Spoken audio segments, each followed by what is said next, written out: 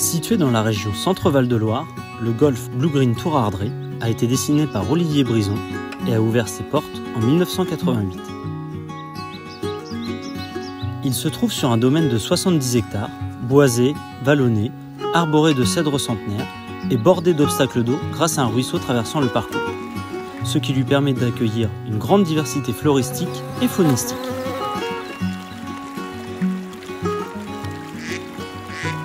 Soucieux d'améliorer notre impact, nous développons une gestion du parcours plus respectueuse de l'environnement.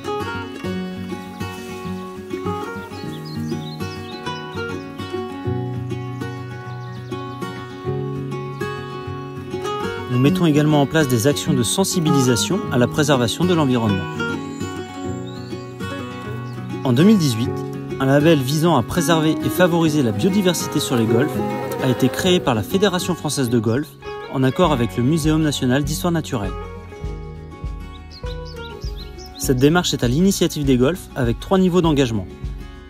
Bronze, argent et or. Ces recommandations guident les golfs étape par étape afin de respecter au mieux la biodiversité.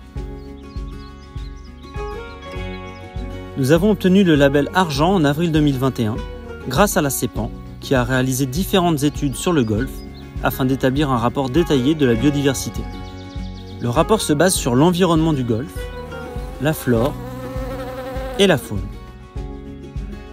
Il prend également en compte l'entretien du parcours, un entretien plus respectueux de la nature que nous souhaitons poursuivre et améliorer grâce aux recommandations de la CEPAN.